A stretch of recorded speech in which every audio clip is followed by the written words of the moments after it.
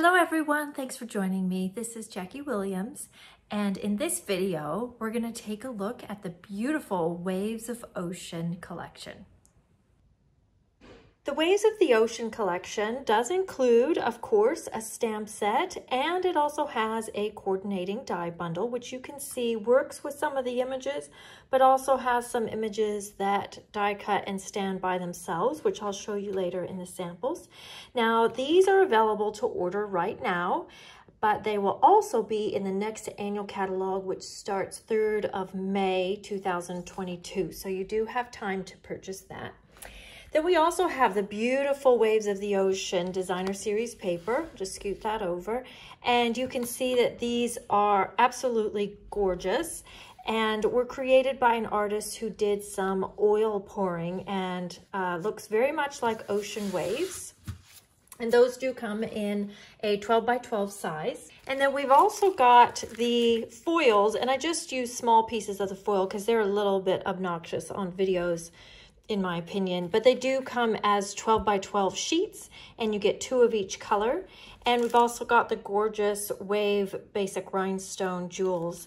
Now, the designer series paper, the foils, and the jewels are only available during, eight, well, through 2nd of May 2022 or while stocks last.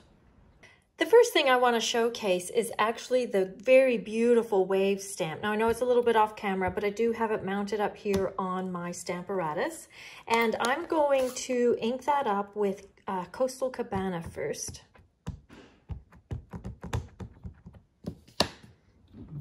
And then stamp that down onto my white cardstock and you can see the detail is absolutely beautiful. It is a distinctive stamp. I'm just going to stamp it again to get it a little bit darker. With this image, it's absolutely beautiful, just stamped like that. I'm just going to add a second color, or you could even do a third and fourth color in there. I'm just going to use a sponge dauber, or you could use a blending brush. And for this sample, I'm going to use Pacific Point.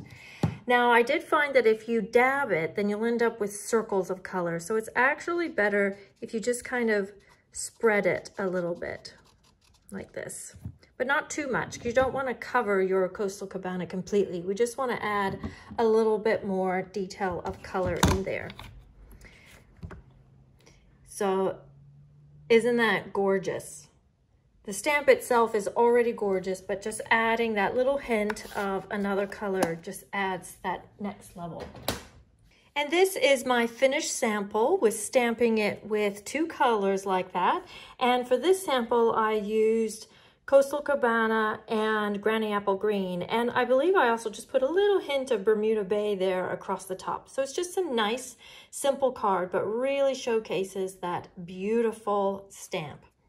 Now, another way that you can use this wave stamp is by emboss resist. So I have stamped this with Versamark.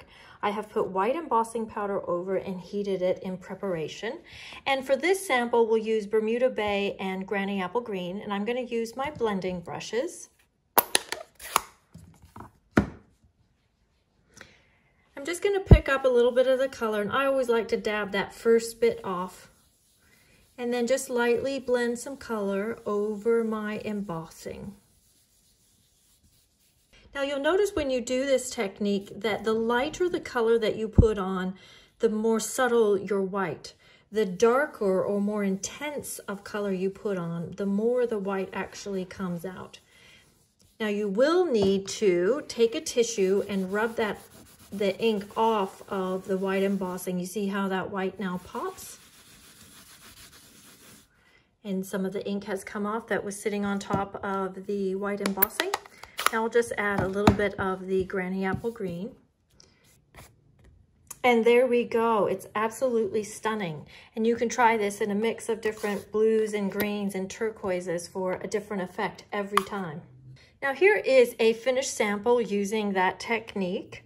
And I did put a little bit of Wink of Stella in there in case you can see some of the sparkle there. And this time I just put a little piece of the designer series paper behind. And this time, instead of stamping the words straight onto the card, I put them up on a label and just a little piece of that denim ribbon running through.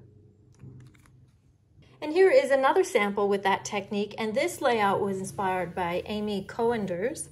And I did change it up a little, but uh, started with hers as my inspiration.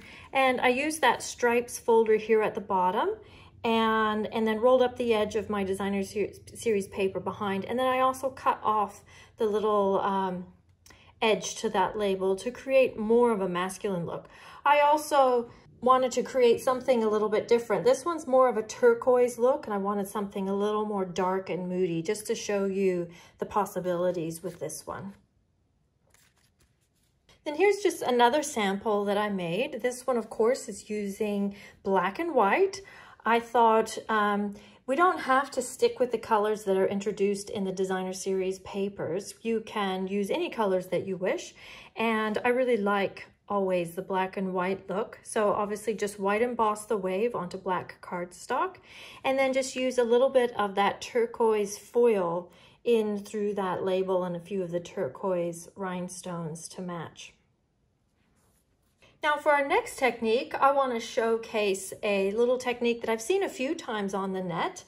And someone also explained it to me verbally, but I can't remember who at the moment. So what you do is you'd stamp your image right here in the middle. And isn't it amazing and just stunning how detailed this uh, little pelican on the wood stamp is? And then what I'm going to do is just take one of my dies or any shape or template that you want to use and then just take my pen and just draw some lines and don't worry if there's some breaks or anything. You're just going to kind of get that rough rectangle shape. And then this is a little bit scary because we're stampers and most of us aren't that good at drawing. I'm actually terrible at drawing. And then just take your pen and just doodle some lines. But quite honestly, guys, if I can do this, you can totally do this. I am the worst artist out there. So you don't have to use a rectangle. You can use a square or a heart or a circle or just whatever shape you want to use. And this is the finished sample, and this was inspired by Mary Deatherage, her sample that she's posted on Pinterest. I just changed it up a little bit, but um, it's inspired by hers. And I love how you've just, we've just got some simple linen thread behind and then you can just tuck some ribbon through just for a pop of color, or you could keep it all neutral. And it's just a nice way to showcase that one stamp and have a little bit of doodling around the outside. Now this next sample is showcasing more the wave dies and you do get two wave dies in the die set. And this is a sample actually that is on the Stampin' Up! flyer, but I really liked it so much I wanted to actually make one. What I loved about this one is that we're actually stamping directly onto the designer series paper. And it's a great use of this one that kind of to me looks like fire and just stamp the words over and over again, inking, uh, you know, like stamping three times after inking so you get the various shades of the words. And, and then layering the wave die onto the designer series paper and then just um, some layers of the designer series paper here at the bottom. I thought it was a very nice design. And then this sample is inspired by Chelsea Christensen. I changed it up just a little, but I liked her layout of using the paper in the background and then having the two waves uh, over top using both the turquoise and the dark blue foils. Those foils are just stunning when die cut with uh, the wave dies. And then I've just torn some little strips of the designer series paper in the various dark blue and the coral and the granny apple green down here at the bottom, then just added a little label and then stamped some little birds. Now this sample was inspired by Melody Viljoen, and I'm sure that's not how you say her last name, but I really liked this idea of just taking strips of the paper and um, stacking them up to create kind of a, a, multicolored background. It's also a really great way to use your strips of paper because we most of us end up with these little thin strips of paper after we've made our projects. And then just put that great pelican on the front and this time use the clouds and I added the little details. So each cloud is two dies and you have the option of adding that little dimensional detail over top. And then my last sample is inspired by Tammy White, but I did simplify her uh, card. So this one is a window card and it opens up like this. So that first layer's got the wave and the words. And then you've got that pelican silhouette and the clouds, and then inside that wonderful stamp and some more words. So thank you so much for joining me. I hope that inspires you to start creating with your Waves of the Ocean collection. Please leave me a comment and share this video. And of course, I always appreciate it when you subscribe. This is Jackie Williams, and I'll see you next time. Bye-bye.